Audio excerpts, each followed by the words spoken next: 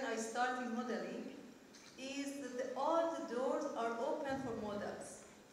Business doors and country doors, culture doors.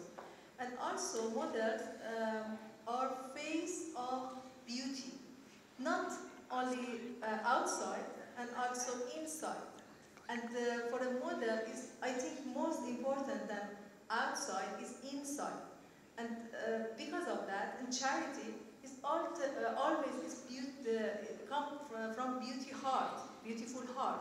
Uh, because people uh, who they, they do charity, they are arranging charity, they have beautiful heart and beautiful inside. And this is, I think, also is a part of modeling.